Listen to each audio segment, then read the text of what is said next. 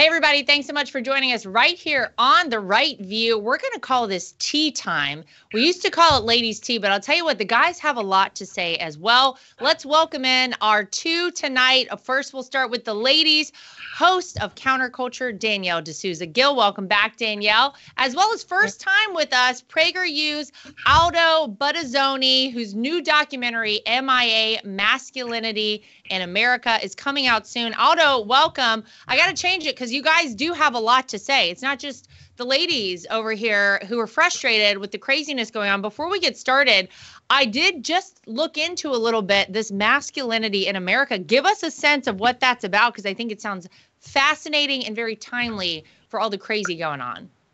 Well, I'm glad you're giving the men uh, a platform to speak here because that's yeah. what the that's what the documentary is all about.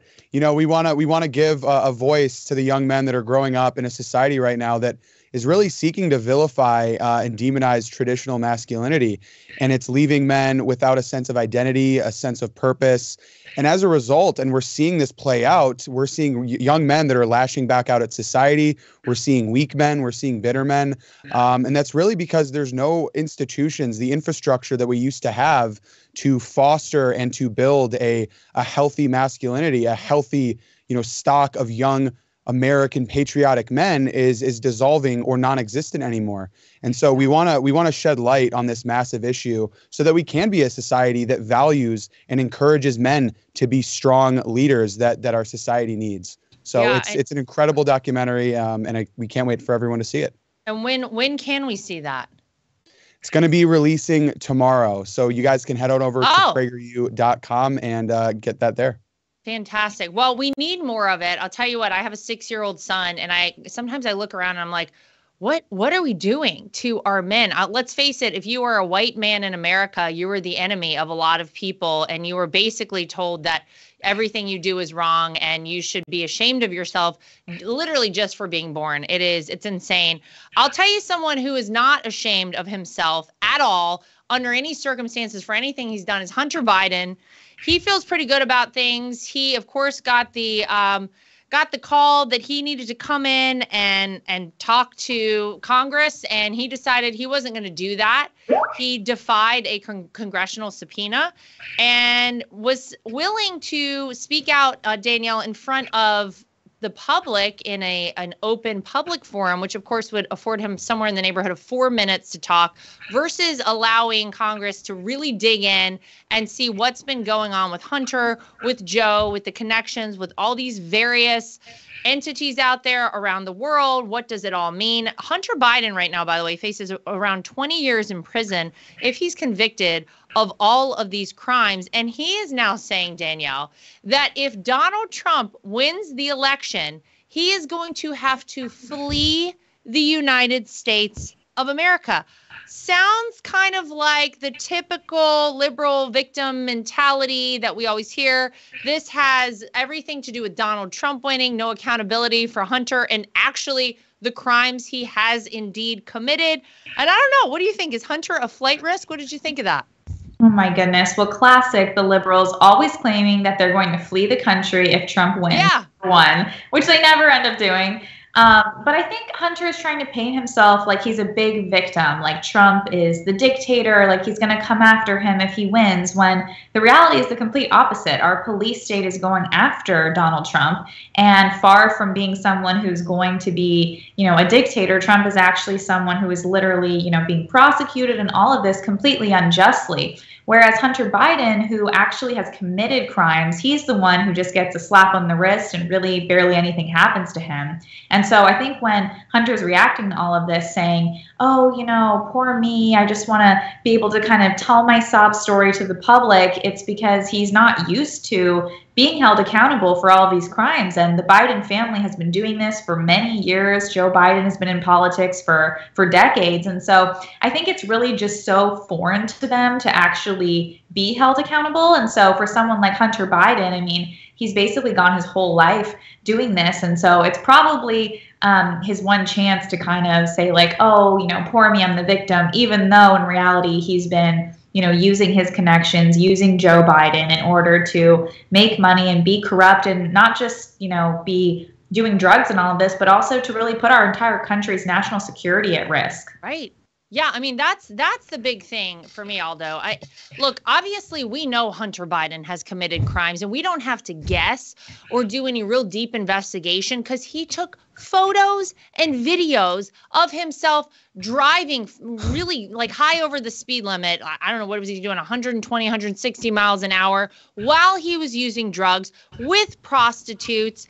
Um, he's actually committed real crimes. We know about the the federal gun law that he broke, obviously, and then you compare that, sort of as Danielle just said, with my father-in-law who Joe Biden's entire Department of Justice is hell bent on taking down. They're having to make up things to try and pin them on Donald Trump. And instead of saying, oh, I'm going to have to flee, oh, I should back out, he's facing it head on. He's like, absolutely not. I'm not backing down from this. I'm not taking any of this lying down because I haven't done anything wrong. We don't have to guess whether or not Hunter Biden committed crimes because he actually did. But the really scary thing is what does this actually mean for the United States of America? Because if indeed Hunter Biden was leveraging Joe's position as vice president of the United States, at least we know that during that time there were some really questionable things that happened in order to enrich himself his dad Joe 10% for the big guy the entire Biden family we know some grandkids of Joe Biden's actually got money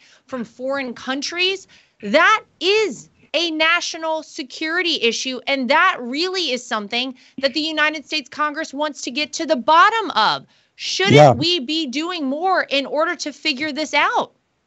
Well, th- this is about the rule of law, and Hunter Biden is scared or claiming that he's going to flee the country, not be not because he believes that Donald Trump will unjustly pr- prosecute him or you know go after him it's because he knows that Donald Trump is the president of the rule of law. And under the rule of law even the president's son Hunter Biden should be held accountable for the crimes like you just said he documented. And not just documented them like here and there and wrote it on a piece of paper. These are crimes that he videotaped and he documented with great detail for the world to see. And the fact that the the Biden's uh, Department of Justice has not pro- prosecuted this yet or looked more into it. And even the fact that the right, that Republicans haven't gone more into this, really speaks to the power I think that the Biden administration has. And I think you're right. I think questions need to be asked about who's pulling the strings here. Who did he do favors to, and why is this not coming to light? Yeah, well, it's funny too because Hunter also said uh, that the Trump cult whatever that means, Hunter, is obsessed with him. If by the Trump cult you mean people who love this country, who want gas to come down to $1.87 a gallon, who want inflation to come down, who want us to have a secure southern border, if that's what you mean by the Trump cult, no new wars started, peace agreements in the Middle East, trade deals with China, then I guess that's the Trump cult we're talking about. Trump cult is obsessed with him. Um, I would actually argue, Danielle, that the Democrat cult, and I will call them that because these people are 100% a cult. They brainwash people. You have people who you can look dead in the face and say the mask isn't doing anything, and they will still put a mask on, still to this day. It's a cult. Those people are obsessed with Donald Trump. It is full Trump derangement syndrome. Uh, there are no two ways about it for me. Um, the, I don't think anyone is obsessed with Hunter. What we are obsessed with is wanting to know that this country is indeed in the hands of people who are making decisions based on what is best for we the people, best for the country, and not best for the pockets of their own family. And right now, we really don't know the answer to that. Yeah, we really don't. And I think the fact that Hunter would even say, like, oh, Trump is obsessed with me, it's like, first of all, we didn't even get to dive fully into Hunter Biden's laptop. I mean, that story was yeah ahead of the 2020 election. So this idea that Hunter is like at the center of everything, it's like actually he would have been at the center of everything, but unfortunately we were not able to discuss the facts there. And so Hunter's been skating by and he's been kind of in the background, but in reality, I mean, we should be discussing it openly. There shouldn't be this um, you know, taboo as if it's like, oh, you know, we can't discuss this because of censorship and all of this. So everything has really gone Hunter Biden's way in a way. And I think now that we're um, kind of seeing all this come to the forefront. We're seeing him hopefully be questioned. We're seeing some of the Republicans stand up and say, no, we want to investigate this further, is really just the tip of the iceberg. I mean, that's just the smallest possible thing that could happen to Hunter. But I think on our side, we see it as okay, at least something is finally being done about this, you know, years on, on onward when it could have been done before. Yeah. Uh, something that was interesting to me, Aldo, I want to get your take on this. So, the Washington Post does not like this is no shock to anyone does not like donald trump does not like anyone in our family leans very very far left is always in the pocket of the democrats. Whatever they need they'll give them a boost. Whenever it's a conservative of course they're going to write anything a negative and and something that'll be harmful to them. There was an article that the washington post put out um, about James Biden. And I found it very interesting in the same way I find it interesting that outlets like, say, CNN have been covering more and more information on Hunter Biden and all of the issues he's dealing with. So, the Washington Post article talked about this DC consulting firm called Lion Hall that James Biden ran in the 90s. And in 1998, when Joe Biden was a senator, you had his brother James run, running this consulting firm. And um, I guess it was so that people would go to him and say, hey, we need a little love on this bill that's going to go through Congress. Could you perhaps wink, wink, nod, nod, talk to your brother and see if he would move with, uh, you know, what we want? And oh, for your consulting work, here's a little cash. So, an attorney was trying to get a bill passed to force tobacco companies to pay billions and billions of dollars. He ended up paying James Biden's firm somewhere in the neighborhood of $100,000 for Joe Biden to ultimately 180 degrees change his opinion on the bill from where it started and end up backing the bill. They say in the article when a larger version of the tobacco settlement finally reached the Senate floor in June of 1998, Biden had gone from being one of its biggest critics to becoming one of its lead defenders. Now, what's interesting about this is obviously it's kind of gross, but we all know that this sort of thing happens. What is interesting to me about this is that it's in the Washington post. And in my mind, somewhere, there's been a whole group of people who have rallied together the CNNs of the world, the Washington Posts of the world, Aldo, and they're like, we know Joe Biden cannot win in 2024. He doesn't have a snowball's chance in hell of becoming president a second time around. So we got to make some moves. We've got to put out some dirt on Joe and the family. I don't know. I found it very interesting that this was reported in the Washington Post. Yeah, that is interesting. I mean, I, I think it's clear by now that the corruption of the Biden family runs very deep uh, and it goes back a very long time. And, you know, we see the same stuff today with Hunter Biden selling his art for very yeah. high prices. Uh, apparently, he's a world class artist all of a sudden. Chinese, Chinese buyers, by the way, although shocking there, all the Chinese buyers of that very, uh, very nice art. It must be you know, great on the I'm walls. Not, I'm not a big fan of contemporary art, but I, I'm still shocked at how much uh, a finger painting by Hunter Biden is going for. Yeah. Maybe I'm just not, you know, with it with the new trends, but it's surprising to me. But yeah, I think you're right with the mainstream media and with the Washington Post uh, getting out here. I think the the writing is on the wall that the Biden administration, as as Trump derangement syndrome as the left is, and how crazy and radical the cult of the left has become, uh, I think his performance has spoken for itself, and he's driving our country into the ground one day at a time, one bill at a time, lining his pockets as he does so. And so I think even even some people on the left and even the mainstream media is starting to realize that this isn't going to be a su- successful campaign, uh, and they have to get out there in front of it before it blows up in their face. I know. And I'm just wondering, I mean, in my mind, Danielle, there will come a moment where they're like, you know, Joe Biden would like to come out and make an announcement. Joe comes out, stumbles out, they get him in front of the camera, and he has, you know, takes a moment and he talks about his son and it's a tough time for their family and they can't possibly go forward in a presidential campaign and now's the time when his family needs him something like that but D- Danielle who are they putting in is it gavin that's the obvious choice is it old hillary who's going to jump back in because we know she would love to is it michelle obama what, who do you think the Democrats have waiting in the wings to swoop on in? Do they keep uh, Kamala Harris? My God, where's she been? Nobody's heard from her in a long time. that she needs to go down to the border. Who are they going to put in? Wh- who are they going to use? I don't know. To be honest, I really think that Biden is going to run. I mean, barring really? some kind of health issue, I really think so because the Bidens they're very greedy people. I don't think Biden, or maybe even not not himself, his wife, his family, they're not going to want him to step down because then all of these shady dealings we've been talking about come to an end. They don't have influence anymore. No one can pay them for anything. And so I think when you're president, you're probably thinking, you know, if I can keep doing this, I'm going to keep going. And so I don't think Biden's going to want to back down. I mean, well, I don't think he's going to want to. In my mind, you you have to have you know the support of like the DNC. You have to have the general support of certain groups of people, right? The problem is, I think all these people are panicking because you look at these polls across the country. Joe Biden is losing in head-to-head matchups with Donald Trump in all the swing states. He is now losing in some swing states to even Nikki Haley. I mean, she's come polling like third in in the GOP field. So I don't. I, I mean, I just can't see how anyone over there they pulled a fast one on us, if we're being honest, in 2020. And some people fell for the old sleight of hand, fell for the jazz hand of the Democrats because they could campaign this guy out of the basement. Oh, we got to keep we got to keep Joe safe, but don't worry, he's going to bring dignity back to the White House. This is old Scranton Joe, Uncle Joe, nice guy, going to get things done for this country. He's going to be real even keeled and just work things out, smooth out the wrinkles. And by the way, the exact opposite has happened. We are on the verge of World War III. We have had millions and millions of people illegally enter our country.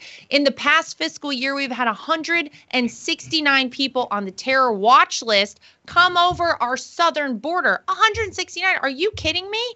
So, I I cannot see how any of the people, the powers that be, are going to allow Joe Biden to do it. I agree with you, Danielle. I think he wants to because this has been the this has been them on the take forever, and they've been waiting for this moment when he's in the White House. But do you think, Aldo? What do you think is going to happen?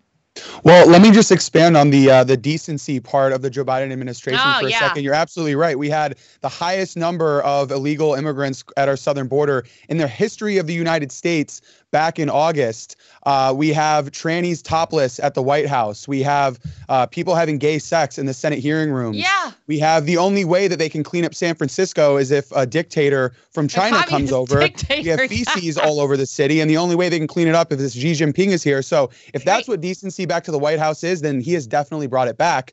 But I agree. I, I don't think I, I can't see a world in which logical people will will keep him in. Um, and if you know, if you look if you want to see who they're going to run, you know, who do they hate the most? They hate the white man. And what's the antithesis of that? You have the black female. I think they're running Michelle, uh, but we'll see. We'll see. Mm, yeah, I've I've had my eye on Michelle for a long time. She has a very high likability rating across the board with Republicans as well, shockingly. But um, I don't know. It's going to be a very interesting year because we are less than a month away from the Iowa caucuses. We're we're here in the holiday season. Everybody enjoy it because I'm going to tell you something. the next 11 months are going to be full blown chaos. So everybody buckle up. Uh, while we're talking about Christmas, the holidays, Merry Christmas. We can say that again. Thanks to Donald Trump. He brought Christmas back. We know the Democrats are always on the lookout, though, um, Danielle, to, to try and ruin anything that's good. They take, they suck the life out of everything suck the funny out of comedy. All the entertainment sucks because you got to have DEI. You can't tell just a general story about anything. You got to make sure you have certain people in certain places or you can't win awards. They just suck the life out of everything. And they're trying, of course, to do it to Christmas. You have the Boston mayor, Michelle Wu who um, decided to have a little holiday party last week. I'm sure a lot of people heard about this. She sent the invitation out to the entire city council there in Boston, of which you have six minority members and six white members. And she told all of them, please come join us at our holiday party for electeds of color. And then, about 15 minutes after this was sent out, of course, she had her uh, assistant or secretary or whoever this person was retract the invitation to the white folks and say, no, no, you are not invited. Only people who are electeds of color, as they put it, are going to be able to attend this party. And like one of the guys was like, I really don't care. It takes a lot more to upset me than being uninvited from a party. Quite frankly, I have JOMO, joy of missing out. That is one of my favorite things in the world. Invite me to something and then be like, I'm not feeling great. I'm like, oh, that's that's tough. And I'm like, oh, fantastic news. So whatever. But the whole point is, Danielle, imagine she sent out an invitation for a whites only party and said only the white people are invited. How on earth you cannot look at this and say that this is full blown racist? I don't know. And then they they went ahead with the party. They actually had the party. Wow. Yeah, this is full blown racism. And just to quickly say what we were talking about before, before we dive into this, I think that they always underestimate Trump in the polls. And so I think you're so right. Trump is so ahead, but for some reason they always underestimate him. And so I think yeah. it's gonna totally blow them away, whether it's Joe Biden or someone else. But yes, this is totally racist when it comes to this party. And what's sickening is the fact that this woman apologizes, but she doesn't actually apologize for doing this, for actually having this racist event of, of segregation, she apologizes that we found out about it, that she sent it. Yeah, she's out. sorry she sent the the invitation. She's not sorry she had a party where right. white people were told you can't come.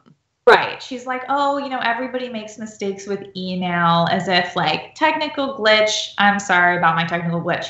But the reality is, she should be sorry about this entire concept. And of course, we know she's not sorry about it because then she says, Oh, we've actually been doing this for years. This is kind of a tradition and this is a normal thing that we do.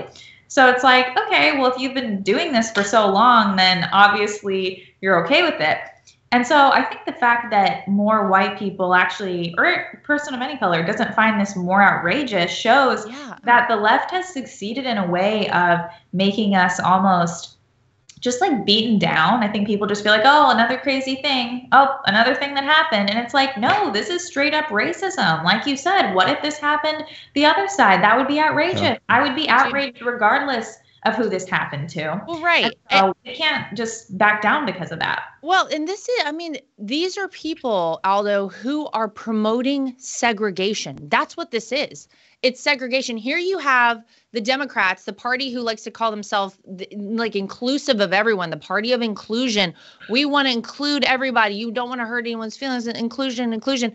Meanwhile, they are the opposite of that. This is continuing to cause segregation. Whenever you say only these people can come and these people cannot, you are segregating people.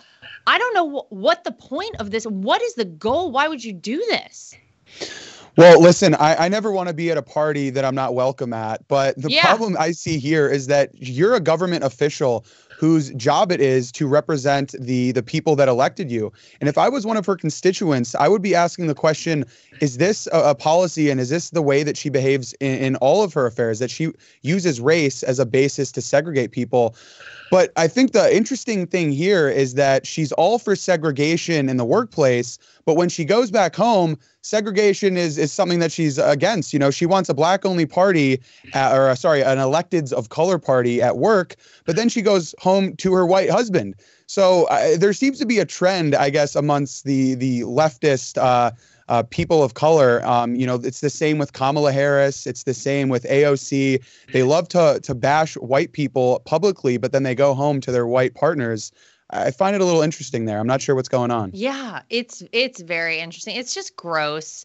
And I, I'm just done with it. If you if if you want to do the best thing possible, invite everybody. Are you serious with this nonsense? It's so crazy. I don't know I really don't know what the point of it was, but the fact that they went on with the party, and I, I think Danielle, as you just point out, the fact that this party's been going on for years, and like, oh yeah, this is a tradition. We do this in Boston every Christmas. Wow, congratulations for you guys. Maybe one of the worst, most segregated places on earth, Boston, Massachusetts.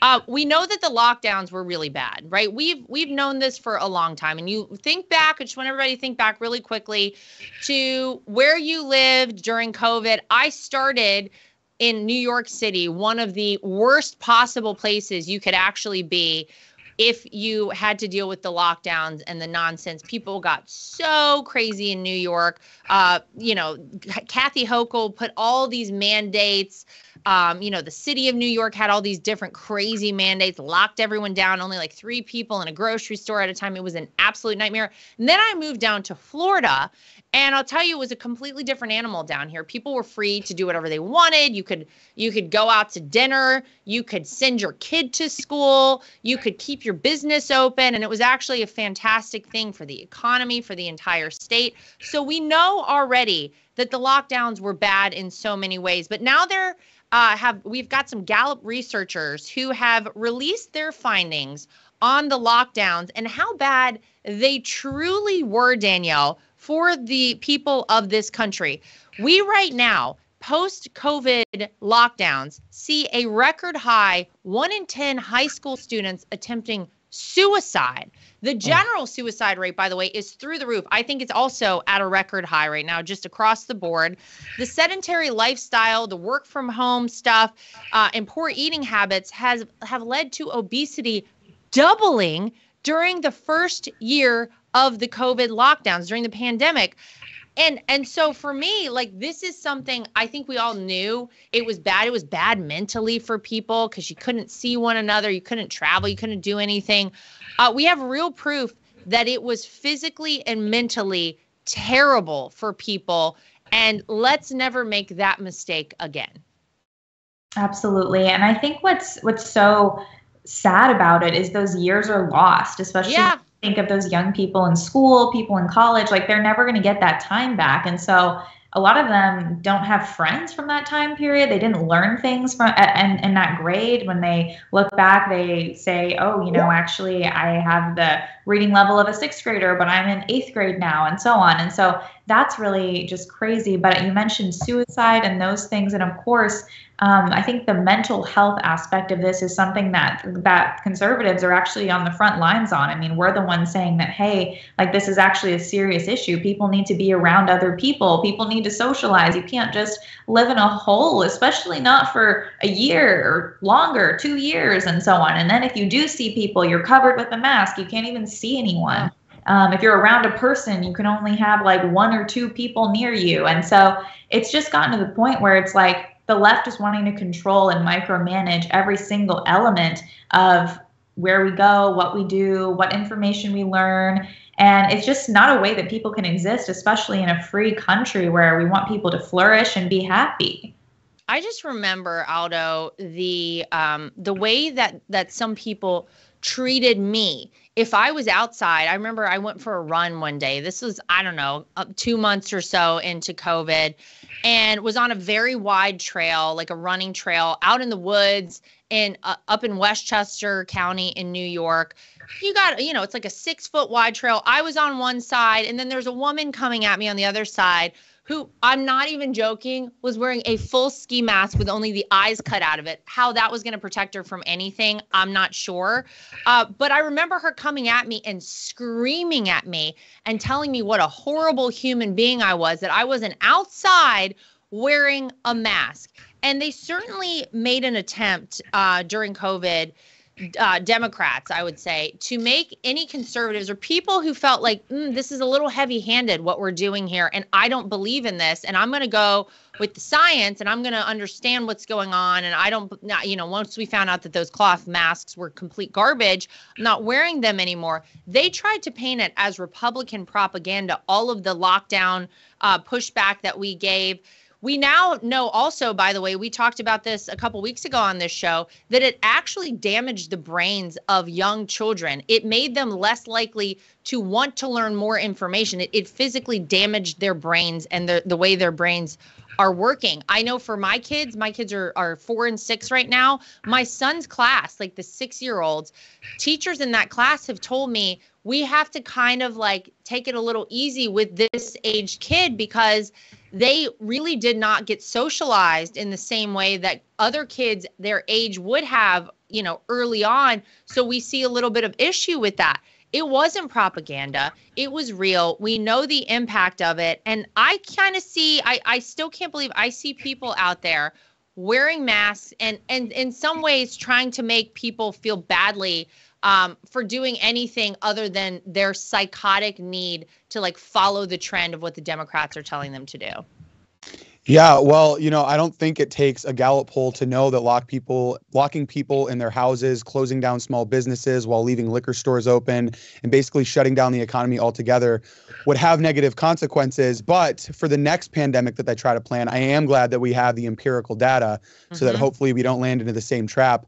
But I think one of the silver linings of the lockdown is we got really to see how people would act under those circumstances, and we got to see how our governments would treat us if they had all the power. And what we saw is that the people that run our country, the people that run our lives and and have power really don't give a damn about us. And they will they will do it again. They'll lock us in our houses. They'll close the country down.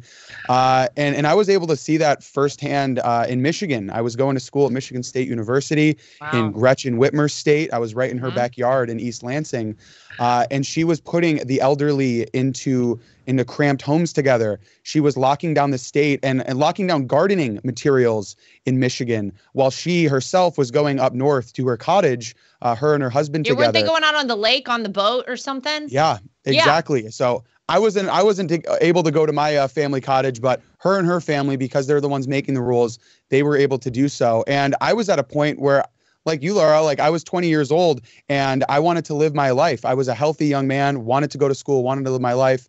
And at the same time, I was having people yelling at me and assigning, uh, you know, morality to me based on if my mask was over my nose or not. And so I fled to the great state of Texas. I, I took a U-Haul and I moved down there and I was able to see how, how our states should have been run. Um, and I, I, was running away from that, uh, that kind of authoritarianism. So it was it was ridiculous, but I'm glad that we have this data now, so that hopefully we can prevent this this sort of tyrannical stuff from from going on in the future, and and we, so that we can call out the the people that are trying to do this. You know, in normal times, you do have a lot of politicians that try to have these authoritarian laws, but they're thinly veiled with this sort of you know altruistic intentions. But I think the pandemic really showed that their intentions are very very clear and. Uh, I, I think that next time, hopefully, we'll be better prepared to see to see through that. Well, as far as I'm concerned, there's no next time. I got to tell you something. I, I, dare anyone to try and lock us down again. It is not going to happen, as far as I'm concerned. I'm not complying. I'll tell you right now. I'm not doing it. I'm not putting a mask on again. I'm not doing any of that crazy stuff. And I think a lot of people feel that way. I, I hate to be, uh, you know, kind of a what do they say, black pilled or very negative, but they, lo- I mean, think about it. They locked us in our homes for years. They they forced an experimental vaccination against yeah. us. They shut down small businesses. But do you hear anybody still talk about that? It's almost as if You're it right. never happened. And so right. I hope it's not a next time. You know, I, I definitely won't be participating in that. But you know, again, I hate to be negative, but I also see how human nature works. And uh, unfortunately, the, the number one rule I always go by is the timeline is very long and people's memories are unfortunately very short. I, I mean, there is definitely uh, truth to that. Uh, the thing that I keep thinking about, though, is like I, I stumbled across these photos. I saw some over the weekend of me with my kids in an airport, must have been three years ago. And my son, who was how was old was he? Three at the time. Had to have a mask on. Here's how stupid it was. Ready? Oh my god. My son to go on the airplane had to have a mask on. I of course had to be fully masked to go through the airport on an airplane. My daughter, who was one at the time, didn't have to do any of it. Like what what was the rationale in that? They were like, "Oh yeah, under under 3 they could keep the mask off." It was so so dumb, so stupid. But you know, just, you know what I miss about the pandemic is like the, the way that people got around those things. I remember seeing a, a photo of some guy, he put a pretzel in his mouth on the airplane yeah, and he kept it there for 4 there. hours to get around the rules. it's like it is so outrageous the crazy stuff that we did. But I stumbled across this photo this weekend and I was like, oh my God, I put a mask on my kid. But of course, I was like, I just want to get on the plane. I just want to yeah. get where we're going. My like it's hard enough to travel with toddlers, let alone with masks on them. My God, it was a nightmare.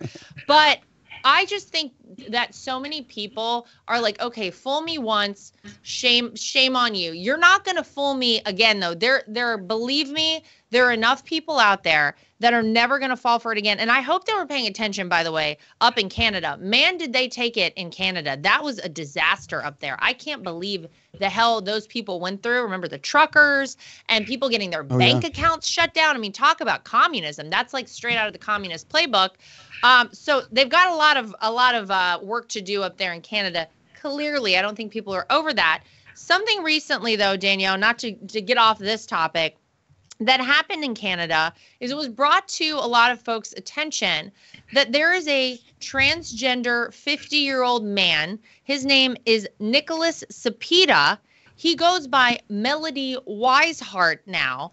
And this guy has been competing against not other 50 year old women, but in swim meets against teenage girls. We are talking 13 to 16 year old girls. Now, first of all, if you are a 50 year old, like actual born as a woman woman, and you really are a woman and you're 50 and you think that you're competing against teenagers in swim meets, I don't know. I feel kind of like sorry for you. Like grow up and like get get a life a little bit.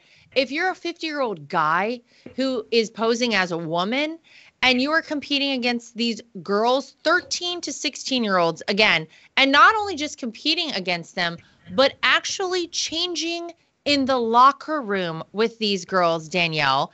Um i have a huge huge problem with that. This is happening again in canada and what's interesting is there was a, a reporter who actually went to one of these swim meets and was trying to talk to the parents. None of the parents seemed that upset with this whole situation. It was it was honestly shocking. I've never heard of something so crazy.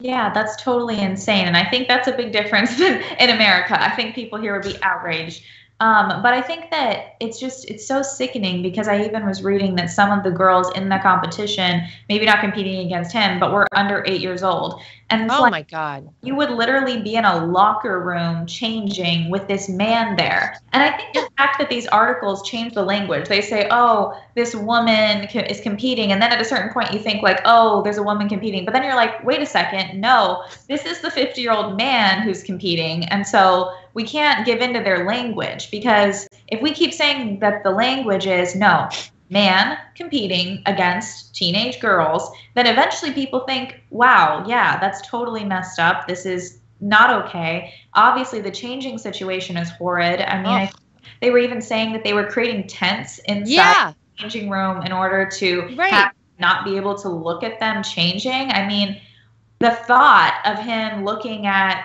any of these girls is is bordering on on on pedophile zone. And so i think we we should not have any any men of 50 years of old or any age with these underage girls um, regardless of how he identifies. And the idea that that's acceptance that that's tolerance that that's you know these supposedly good things that the left is pushing it's like no this is just straight up evil and outside the bounds of what's acceptable. Yeah, it's it's it's gross. I'm sorry. It's really gross.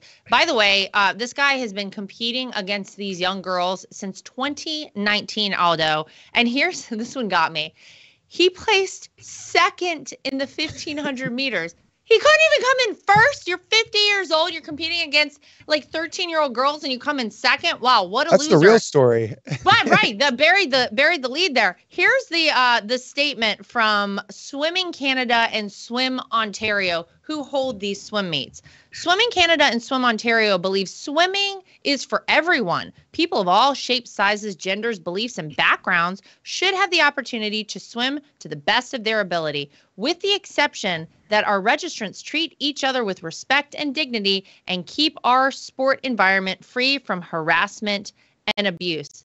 That's their statement. Well, I don't know. I, I'll tell you one thing. If my daughter was competing against a 50 year old man who then tried to come into the locker room and change with her, I would consider that harassment and abuse. I would have something to say about that. They really feel strongly that this is an acceptable thing. And it's honest to God, it is incredibly shocking.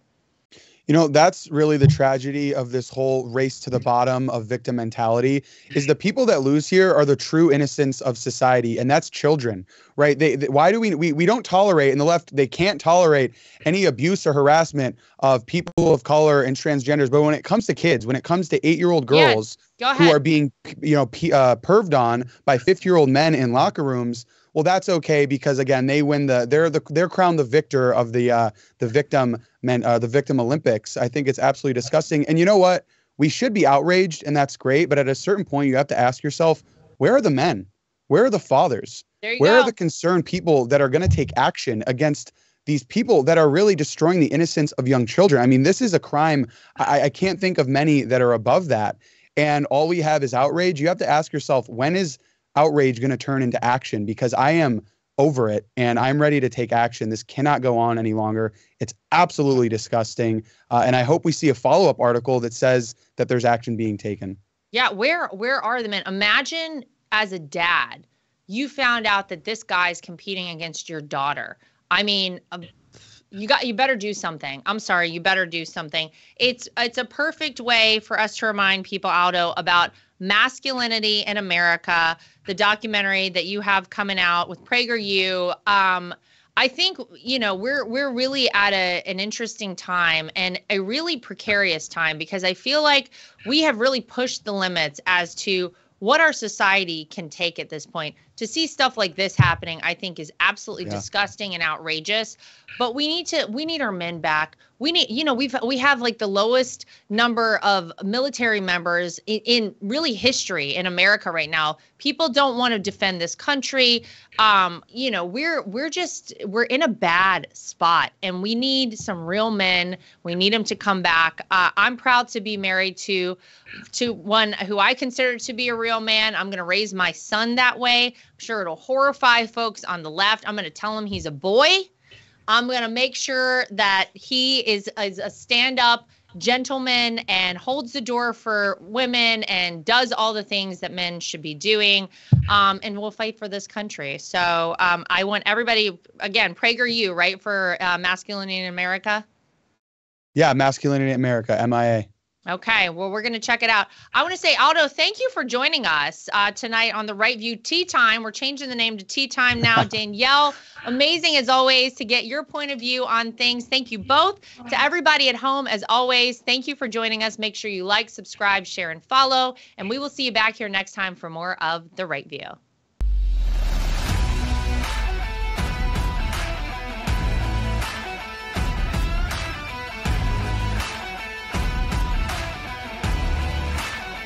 Nothing is worse than being on a phone call that drops. Nothing is worse than trying to text someone and you can't reach them because your phone is out of service range.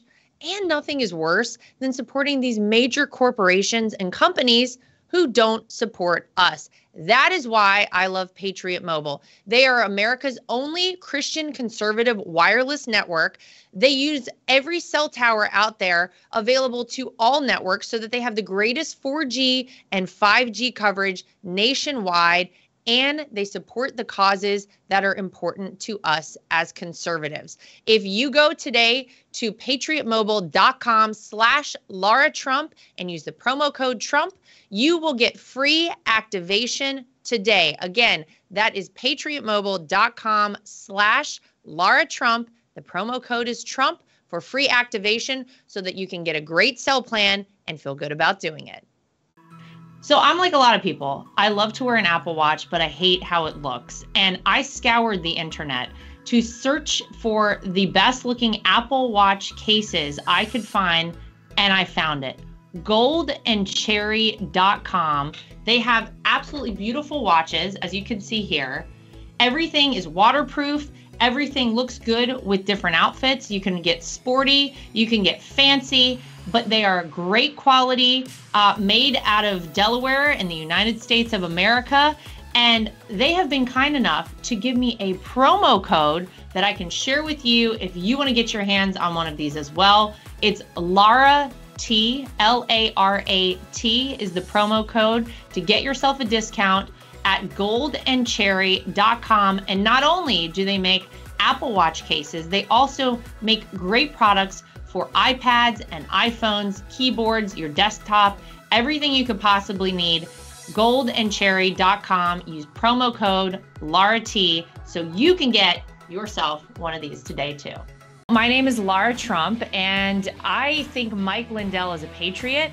He is someone who loves this country, is willing to fight for this country. If you go to mypillow.com today and use promo code Trump, again, promo code Trump, You will not only save money, but you will help us continue this show and other shows like it and help us continue the fight for the future of America. If you're listening right now and you want to get these products, go to organicbodyessentials.com, use promo code TRUMP save yourself a little bit of money and do something great for your skin. One way to protect your money is by investing in precious metals, uh, gold and silver. That's always been a great way to make sure that you keep your money and you keep it safe. When you go to bh-pm.com, use promo code TRUMP. That way, if you decide you want to invest in gold and silver, you'll save yourself a little bit of money. If you want to get yourself some Kingdom Fuel protein powder as well, go to sherwood.tv. You can use promo code TRUMP when you check out for a little bit of savings, and you're going to get a delicious, great protein powder to fuel you through your day.